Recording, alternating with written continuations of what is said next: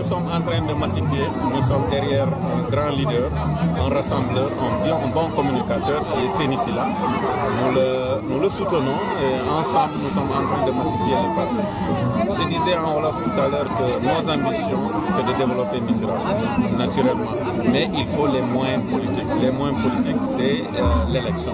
Il faudrait que les gens fassent confiance au groupe qui est là, qu'on nous élise à la tête de la mairie de Missira en 2014. Et Inch'Allah, tout ce que la population demandera, nous allons essayer de les satisfaire. Naturellement, j'ai confiance en moi-même, j'ai confiance en mon leader et j'ai confiance en ma communauté.